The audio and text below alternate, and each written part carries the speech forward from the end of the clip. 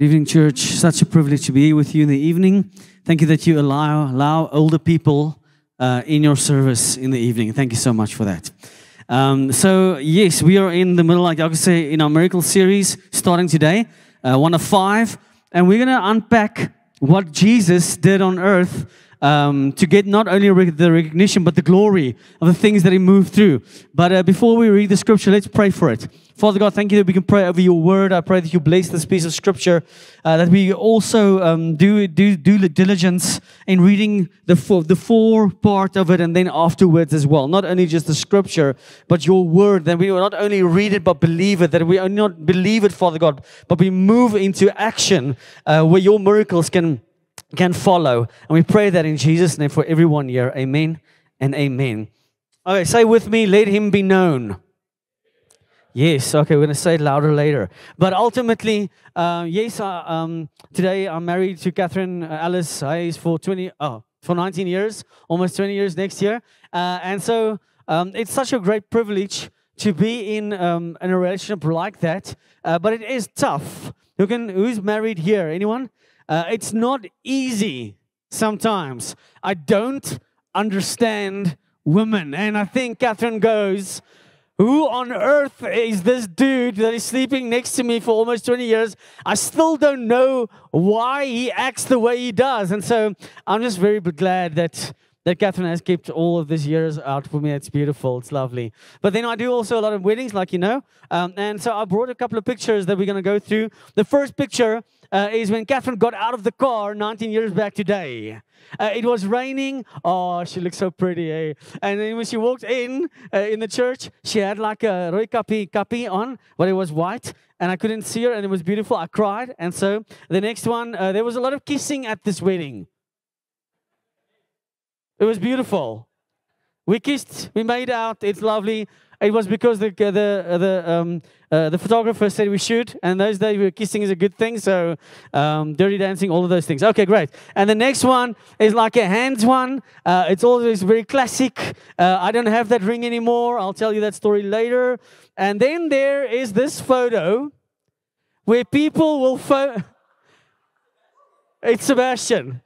Where people will phone me and go, how were you allowed to get married at 17? Okay. And so I think the suit was a bit too big. Oh, but she was lovely. I could not take my eyes off of her. And even today, I look at her and she goes, No, man, don't look at me that way.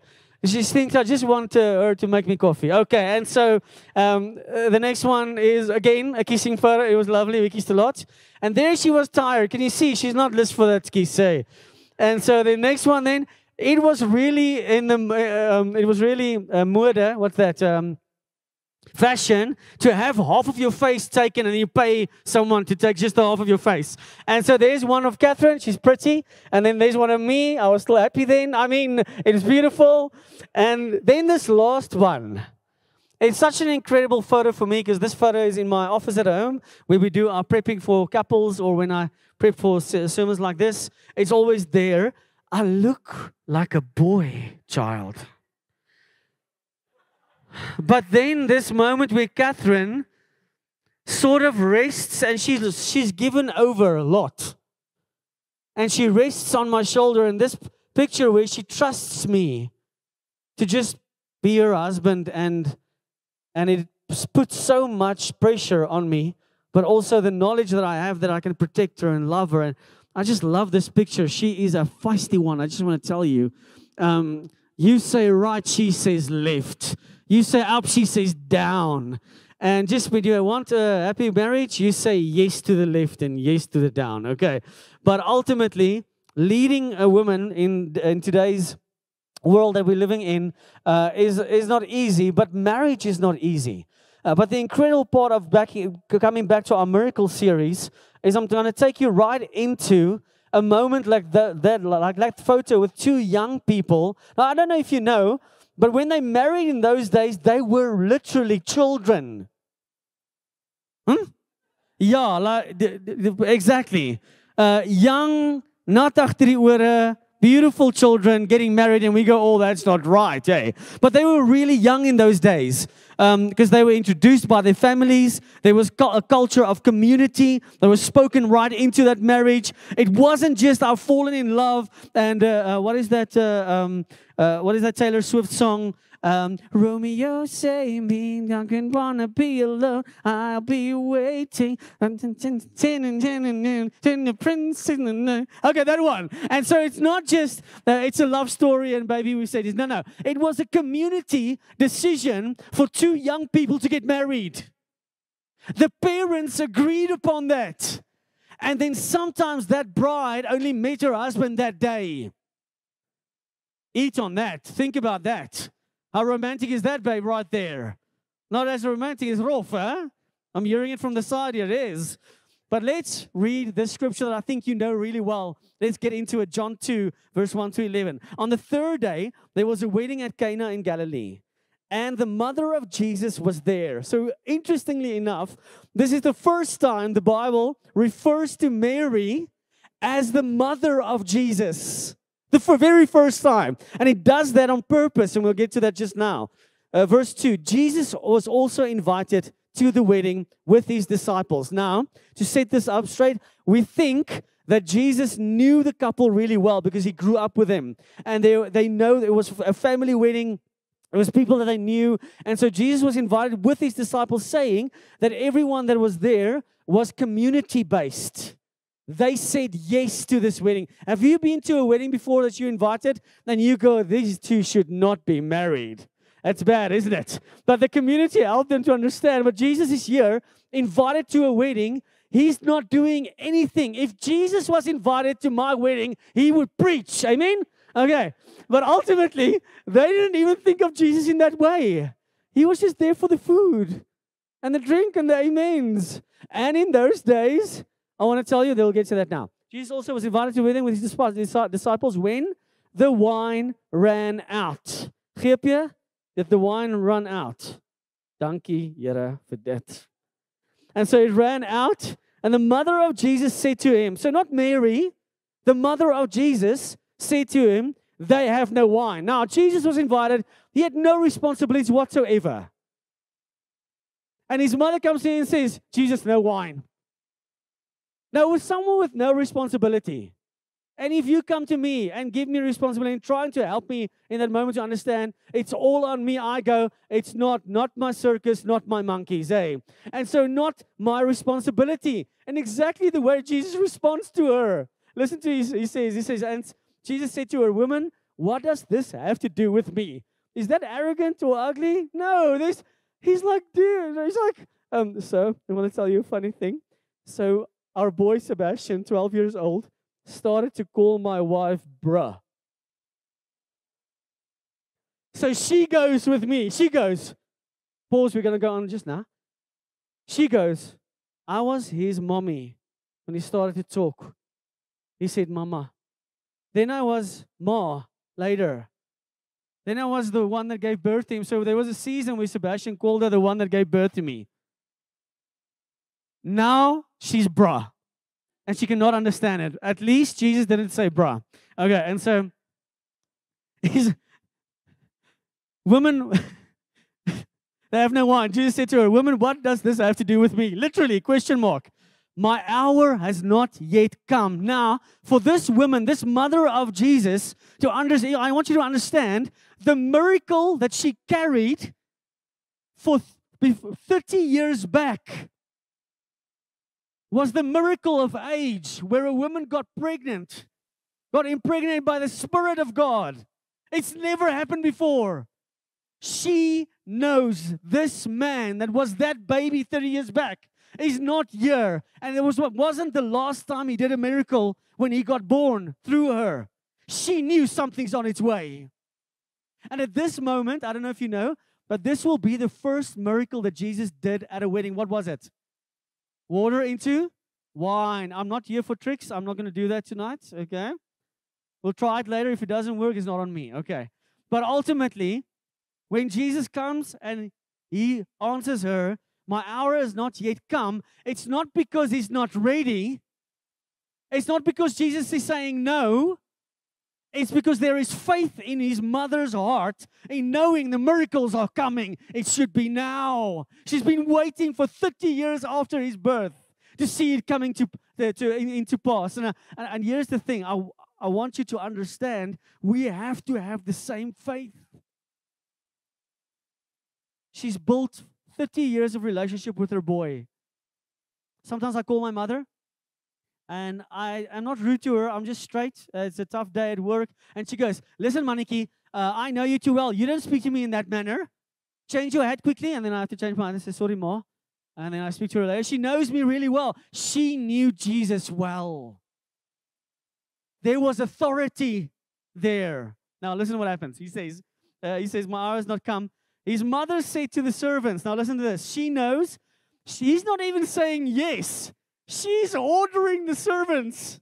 And she says this The mother said to the servants, Do whatever he tells you. Now, if Mary was out of line, the mother of Jesus was out of line, she would have said, Go and do this because I am ordering you to. Not, she's not saying that. She is saying, Do whatever Jesus tells you to do.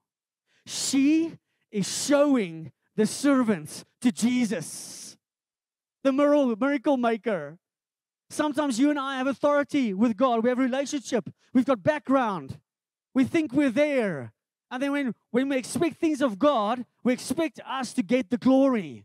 We expect us to receive something, a tap on the shoulder or whatever. But not even the mother of Jesus was that arrogant. She went, if you if I tell you what to do, but you tell you do everything that man that man tells you to do. It shows to Jesus. It's make it's it's making him known. And what's interesting is she's telling the the servants. Now there were six stone water jars therefore the Jewish rites of purification. This is interesting. Uh, it's so funny because the those jars was not allowed to be used for anything else except the purification. And Jesus calls on those religious moments and he says, Bring that. We're going to use that now. I love when Jesus works against religion. I love it when he shakes it, he knocks it on the teeth or maybe on the nose. It bleeds. Why? Because sometimes we as people come in and we put in place rules that's not godly, it's not from Christ, and it hurts people. Amen? And so he does that. He brings the jars. Jesus said to the servants, Now he's speaking. He hasn't said yes, he's just moving in it. He knows. Jesus said to the servants, Fill the jars with water. And they filled them up to the brim. And he said to them, Now draw some out and take it to the master of the feast. So they took it. Now, I don't know if you know the process of wine, but it is a long process. To get to good red wine, it takes about 20 years. So you plant a seed, there's fruit, you harvest that fruit, you step on it, you bring the family, it's in a big round thing, they get the juices out of there, they ferment it, they put a, a, a water in it. Now their wine wasn't as strong as ours today. The word of God says it was been mixed with water. But ultimately, when it's made, it ferments and then it lies down. It stands for a very long time. Jesus did this in a moment. I want to tell you now when Jesus moves in your life, in someone else's life, he changes it right away. It will never be the same again. If your faith, if you have a faith based focus on Jesus, you will know that when He moves, things change. We don't wait for it. When He speaks, no one waits. When we order Him, He says, okay, let's see how long you can wait. Sometimes we need to be in line, in tune with how God does things. But this is amazing because He says, now draw some out of it and take it to the master of the feast. It happens in a moment. So they took it. When the master of the feast tasted the water, now become wine, and did not know where it came from. All of those barrels, no one brought it in. It wasn't a trick. Now, remember again, there were a lot of tricksters in those days, tricking people because they wanted money. Even people saying they love God tricked people for money. So, this is a big moment. Where did the wine come from? Though the servants who had drawn the water knew. How interesting is this? Jesus did not decide to do his first miracle in front of influential people. He did it in front of servants. Are you a servant? Are you serving Jesus? See, there's two things that Mary did, the mother of Jesus, did right. She shown the servants to Jesus, and then she said, Believe him. Those two things. We sang it just now in that song. Believe in God. My favorite verses currently is that John 1, where Jesus said that if your heart is troubled, believe in God, believe also in me. He's not saying, he's not even saying, hey, um, I see you're in trouble. Uh, do you need some finances? He says, he looks at you and he says, uh, I see you're sick. Uh, let me heal you. He doesn't say that. He doesn't say, let's go for a, a session of, uh, um, of ministry somewhere for 12 weeks. No, no. He says this If your heart is troubled, believe in God, believe also in me. If you want to heal your heart, believe. Sounds like a cop out, but it's not. God is calling out the faith out of us. Why? Because we're in a generation where if we don't see it, we don't believe it. Amen? God is calling us to full faith. You have to move in it before you see it, and then it will come to pass. Amen? And so he says this when the master, of, okay, we'll pass that. The master of the, feast, uh, of the feast called the bridegroom. Now, here's the thing when I do weddings and preparation it's ultimately very well known that if the wine or the food ran out at a wedding like that, now the feast, they did almost a half a day for the procession, like we marry people. That moment, you are worried about an hour in the church, they did it half a day. And then they had a party for six days afterwards, all in all, seven days for a wedding. Now, if you calculate it well, and you and in your sphere of influence and friends, people are getting married, you can go to your boss and say, I'm seeing you next year. I have weddings this year. I'm just going on weddings. Okay, 15 weddings, 15 weeks, baby. It's going to be beautiful. So it didn't work like ours, quickly, uh, all done in one day. But the wine ran out, and the shamefulness was not on anyone else except the groom and the bride. In those days, it was shameful when the, when the food and the, and the drink ran out the couples were shamed. Not a great way to start your marriage. And here's one of the things that happened is, is Jesus uses water into wine. But where do we see that analogy uh, when we read the scriptures later uh, on the cross? When, when Jesus is pierced in his side, what, what is released?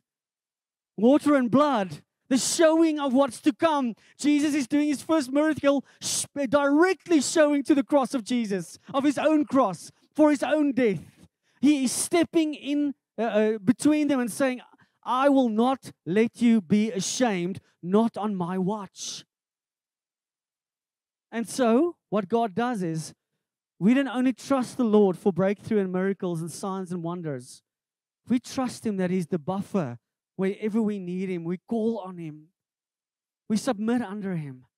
Our lives are put down, and whatever we think is more important is not. We're laying our lives down to Jesus, saying, Lord, you are our Lord. We will make you known, and whatever happens, I will be okay with it. You know that a servant operates that way. Doesn't matter what the outcome is of what I asked. If, this, if the Lord decides, the servant submits. Sometimes we get arrogant with Jesus. Sometimes we get frustrated with the Spirit. Sometimes we, we're not so happy with the Father because we're not getting what we want. Oh, but if we know that we submit like a servant and we do everything that He tells us, the miracles will come because of our relationship with, with, with, with the, the Lord Jesus If you and I can be more servant orientated. And so here he comes. He says, Everyone serves the good wine first. Goes to the bridegroom and said this Everyone serves the good wine first, and the people have drunk freely, then the poor wine. But you have kept the good wine until now.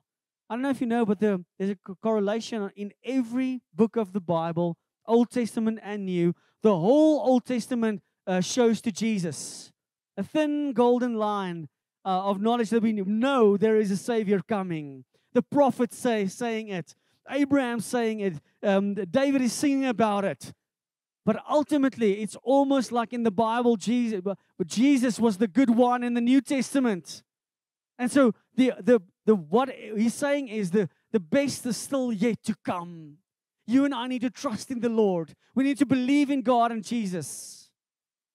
And then there's a funny thing. Um, I heard someone say in the week we were praying over a situation at a friend's house, and the lady goes, "But my God doesn't work this way. My God will make everything go well when I believe in Him." But that's not true, is it?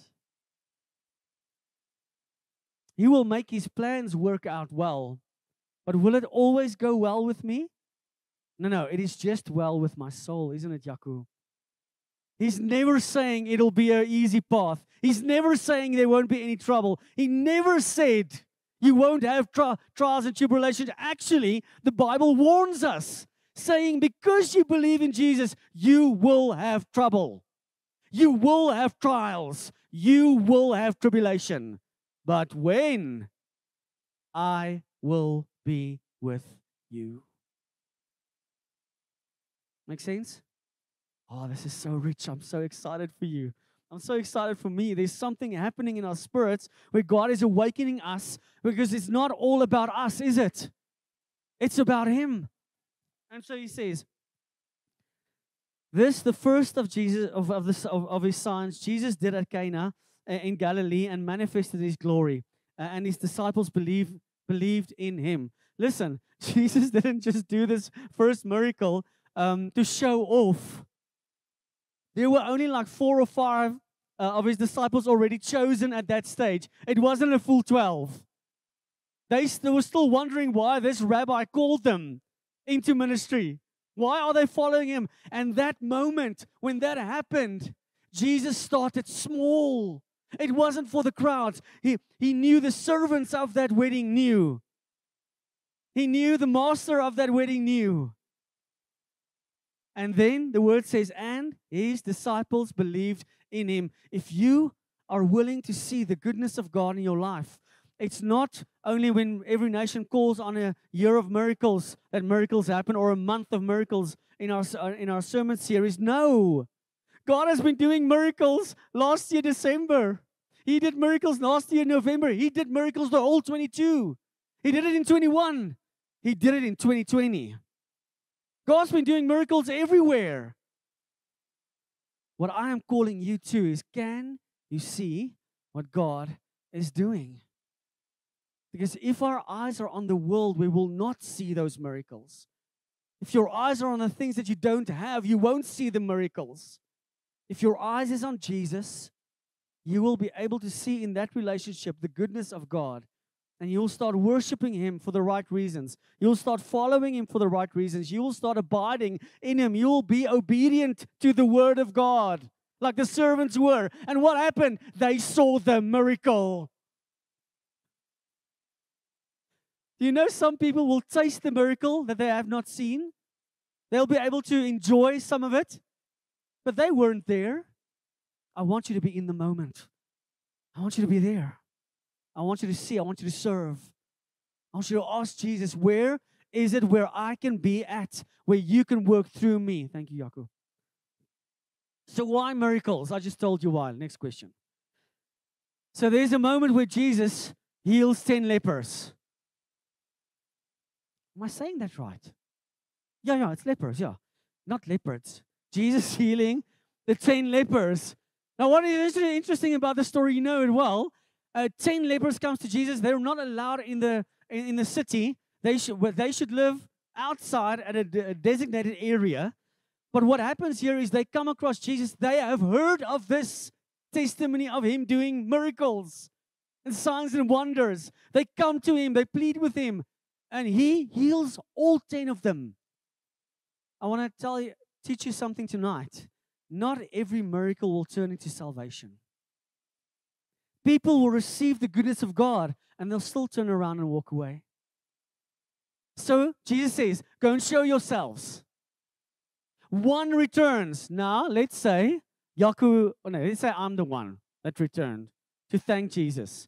I would be thinking, if I was that aware in that moment, listen, their fingers were falling off. They had no toes.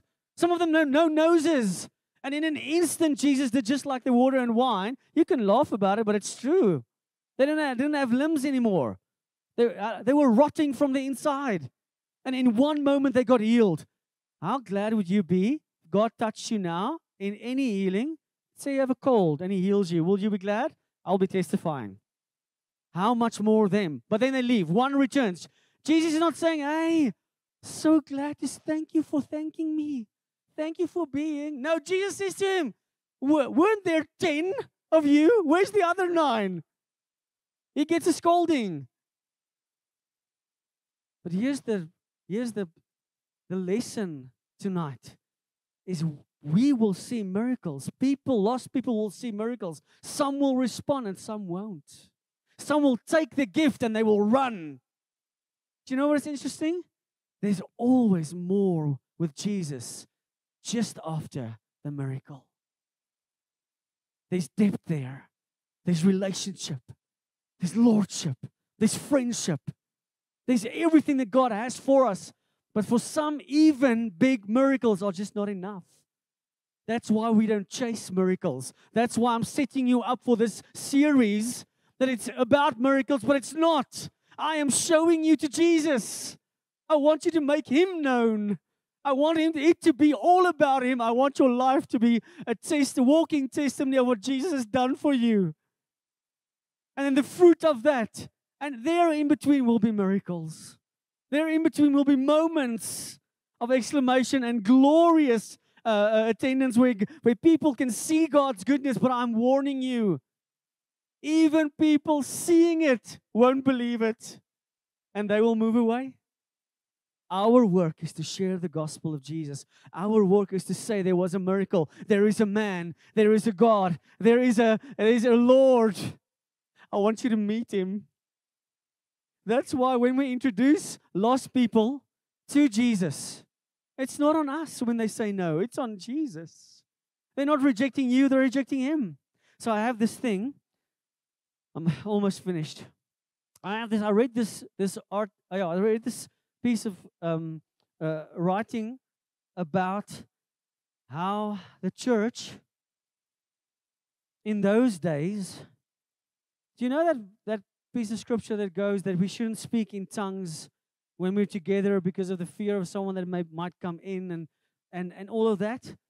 And so I read this piece of scripture that, that was exegesing this, this piece where he said, In those days, the gathering of the church had no lost people in it. Paul warning us for not speaking in tongues in front in church wasn't because we're going to offend lost people. Yes, it is so. But the lost people were reached in the week. They were baptized in the week, and then they were added to the family on that day. So speaking in tongues wasn't even an issue. Why? Because they were obedient, getting getting saved, getting baptized by water, and then getting baptized by the Holy Spirit. Will you be offended walking in here when you receive tongues and when I speak in tongues, will you be then offended? No. You'll be offended when you're not saved, do not understand the, the, um, the, the, baptism of water and not understand the baptism of the Holy Spirit. Then you'll be offended. You'll go. You won't come back. In those days, church was for the saved. The gathering of that was for the saved people. You and I should understand that when we reach out to lost people, oh, please do baptize them in the week as well. You can. I'm not saying do not bring lost people to church. Please do. We're really accommodating to that. I'm not trying to chase anyone away. I'm trying to say the work was done in the week. And then when we come together, we celebrate those souls in Jesus' name. We celebrate the victories, the miracles, what God has done. The glory is to Jesus. But the work's been done in the week. We're not a Sunday focused church. We will never be if we ever get smoke machines, I will not be here anymore. I love smoke machines. I dance in it, I do moves with it, not in church. Amen. I like lights as well. It's beautiful. We'll never get to that place where it's all all just for entertainment value like Yaku mentioned. For me, I want to I want to ask you this year. I want to ask you in this sermon series, do not miss next week. Yaku is to uh, preach a powerful message of and, and I'm laying the foundation for you to understand it's not wrong to see the miracles or to believe it or to share it. But that's not what we are to chase. We are to chase the King of Kings and the Lord of Lords and the one who gave his life to us. And I want to end off saying to you that the biggest miracle was Jesus giving his own life to this world. And if you cannot be appreciative of that, then you will not understand obedience and then you will not stay here for very long. That was the gift of gifts. That was the miracle of miracles. Is Jesus overcoming death, being raised from the dead, and is living today. That's our that's our that's our gospel. That's the love of Christ. And then, then you know, I think a lot of other problems will will fall off of us when we just believe in God, believe in Him. I don't have anything else. God turns an embarrassing moment into an opportunity so that His power might be displayed. The response to our call when we pray. Our problems require obedience. It's not just about the miracles. Our wedding day is on its way. Jesus is coming back for a pure bride, and I am part of it. Are you? Are you part of the servanthood of God? Are you part of serving Jesus to the point where you see the miracles and then you testify about Him? Even though it's done through you, it's not about you. And then the scripture I'm ending off Mark 16 17 to 18 says, And these signs will accompany those who believe. So God says, Believe in God, believe in me, Jesus said. And these signs will accompany you. In the name, they will cast out demons, they will speak in new tongues, they will pick up serpents, serpents with their hands, and they will drink any deadly poison. It will not hurt them. They will lay hands on the sick and they will recover. Do you want to see that happen? Believe in God, believe in Jesus. Let the Holy Spirit move through you. Amen. So there's two things for me. On your chair, you would see a pen, one of these uh, business cards that says one sermon series. Uh, one is open, blank on both sides. I want you to do two things for me. I want you to write a list of names at the back that you, someone that you know, friends, family, uh, colleagues, that you know that needs Jesus and you are trusting God for to save their lives. I don't care if it's through you or through anyone else. But you're going to pray for them until we see God save them. Amen? Write them right now. Write them down right now. Names, I need names. There might be a Philip. Write Philip down. I don't know. There might be a Yaku. He needs Jesus as well. Write it down. The ones that we're trusting Jesus for. I don't know. You might be a musician out there. There's a lot of lost musicians. You meet them, lost producers. I don't know. BVs, uh, lead guitar players, I don't know. You write their names there. You might be um, working in, in, in corporate and you got a really bad, really, really worldly boss. Put his name on here. Trust God for big things. Can you see where our big focuses lie in miracles? We want to see the healings. We want to see God doing big things. We want to see God moving mountains. Amen? But we want to see, firstly, the lost coming to Christ, the biggest miracle of all. And then, secondly, on this blank piece of paper, I want you to write in. You can number it. You can please don't put your name on there. The, th- big things that you are trusting, the miracles that you are trusting God for for your life in 2023. I want you to write them down. We're going to fold them up before, before we do the communion. We're going to you're going to uh, hang it on the miracle prayer board. We're going to pray over it. People are going to pray over that.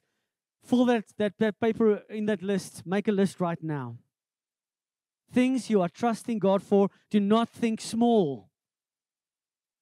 Do not think right now. Think tomorrow. Think next year. Think big. You can have tomorrow things on you. Please do have generational things in mind as well. Write it now. I'm going to give you some time.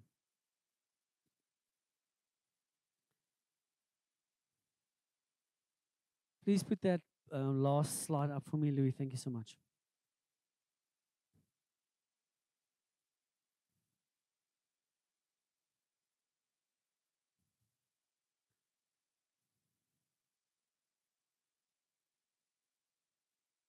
Ah, just the previous one. No. Yes. While you're writing, I want to do a prayer. Keep on writing. I'm going to pray for you while you write. Lord, I pray right now that the scriptures will come alive in our spirits and our hearts over our congregation, over Highveld, over Centurion, over Pretoria, over South Africa, and the world, Lord. I pray right now, there in 84 other countries, we are doing the same sermon series. Lord, I pray that you'll open our hearts to understand it's all about you. I pray that we will trust you for really big things in this world. But Lord, I'm praying for this that your will will be done and not ours. Like Jesus prayed in the Garden of Gethsemane, he prayed, Lord, your will, not mine. I want us to, to move. these two stations, one in the front, one in the back. I want you to, to hang your miracle prayer list on there. There's going to be people praying over those things. And when it comes true, we're going to take it off, and you're going to have the opportunity to testify uh, about it in church, in your connect, um, online for us. We're going to trust God for big things. But I also want you to grab some um, communion um, elements. We are going to um, use communion together. We're going to trust God that He will bless you this year, work through you, protect you, but also that we will see His glory being manifested and His kingdom being established on earth. Amen. Let's do that now. Let's, we're to have some background music. Um, let's move and let's minister. Keep on praying. Do not, this is not the end. I'm to give it over to Yaku, but he's going to um, help us through the communion right now in Jesus' name. Amen. Let's move. See, here's the thing we can resist it, but then we won't see it, will we? It's when we believe and receive it, it's when it flows. Some of you here have an amazing ability and the gift of faith. Oh, you need to action it. You need to use it. You know, Lord, I'm not going to leave you until you bless this person or you bless me or you break through in this in this uh, regard. Um, some of you are really under very big financial stress. I can feel it in the spirit. Worried, that's the word. If you're worried right now about job, work, income, finances, um, I want you to go, Lord, you see my iniquity, you see my shortcomings, you see what I need, but I choose to put my eyes on you. Say with me, I believe in God and I believe in you, Jesus. And that is enough for me. In Jesus' name, amen and amen. Amen. Can we give God a hand?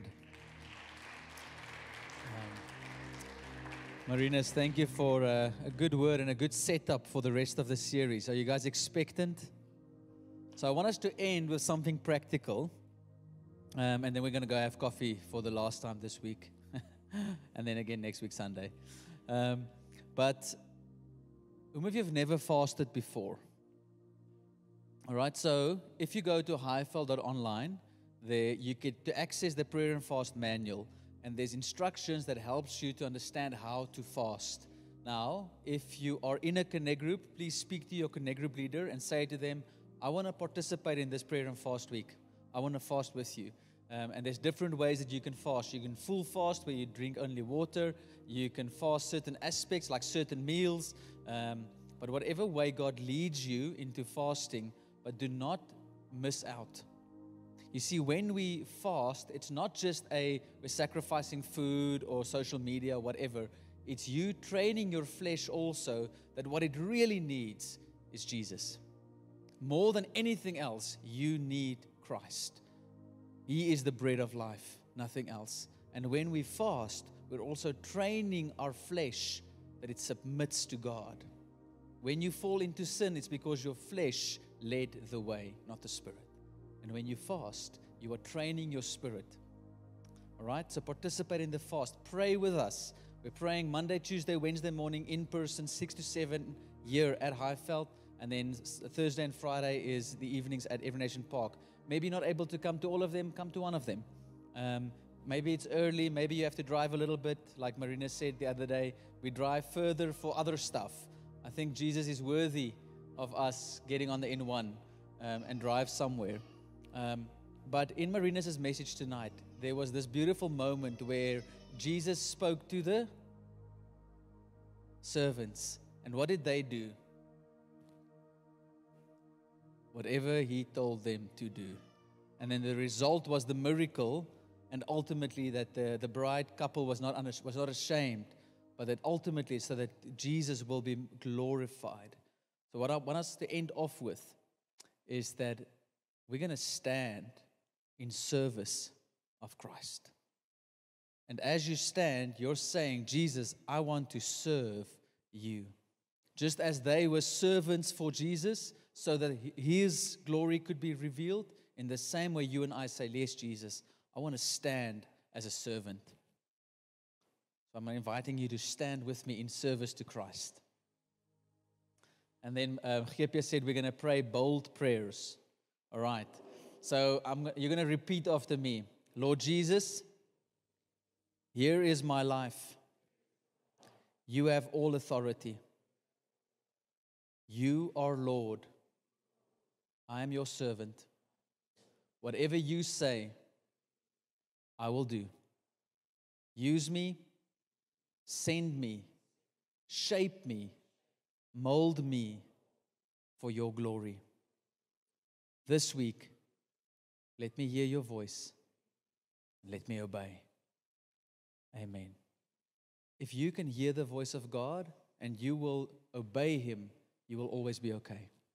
So next week Sunday we're also starting for 4 weeks during our pre-service prayer 4 to 4:30 right here to teach you how to hear the voice of God.